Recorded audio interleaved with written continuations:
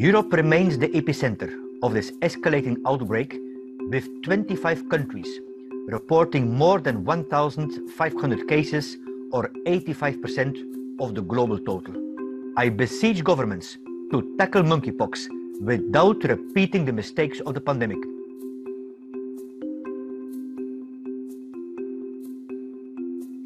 The global outbreak of monkeypox is clearly unusual and concerning.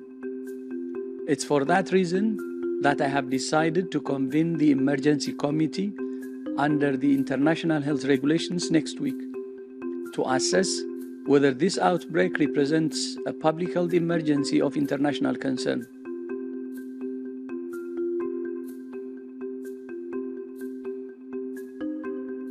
We signed an agreement to purchase with the EU budget about 110,000 doses of vaccine against monkeypox for member states. This is a real and a very tangible proof of the kind of quick and collective reaction that European Health Union can deliver.